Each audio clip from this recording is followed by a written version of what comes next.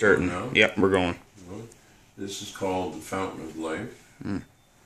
And it's written uh, based on uh, something I got out of uh, the introduction to a Baptist hymnal, Mhm. which I've been spreading around. Anyway, it's called The Fountain of Life.